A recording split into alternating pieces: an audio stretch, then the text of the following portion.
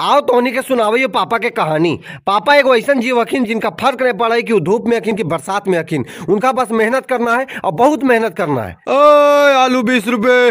ओए बैगन चालीस रुपए। बैगन पाँच रुपए। आलू दस रुपए। अरे ले जाओ भाई ले जाओ ले जाओ। सब फ्री में बेच दे कारे कंपटीशन करे के चक्कर में आए। अब पहले वाला बाजारे नहीं हो लॉकडाउन के बाद। छौड़ा बोल रहे रेंजर साइकिल लेवे ले लगा बैंक में वाला जमा निकाल के लेवे पड़ते। और यही सब सोचते हुए पापा घरे आवाखिन लेकिन घरवा में आवे के बाद कुछ हो पापा पापा साइकिल वाले लू। ए पापा। हट चला तीन चार दिन रुक जाओ अभी पैसा उसा नहीं लो है पापा कम से कम इंस्ट्रूमेंट बॉक्स वाले दे उन्हें आज चला ना हो पैसा उसा भी रे। तू कुछ नहीं लेके दे हट यहाँ से पैसा रहते तब लेके दो मेरे हाँ बहनी वाला जाके लेके काम चलाओ। दिमाग खराब। पापा एगो जूता भी लेवे ले। अच्छा ठीक है ले लिया।